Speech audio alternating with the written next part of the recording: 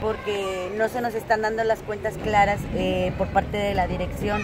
Entonces hay muchas anomalías dentro de la institución. Como ustedes pueden ver, todo el mugrero que hay, se ha hablado con la directora que es injusto todo el santural que hay para los niños. Estamos pidiendo cuentas claras, no nos las quiere dar, se porta muy grosera. Entonces empezamos a ver que las directoras de las maestras empezaron a trabajar bajo protesta.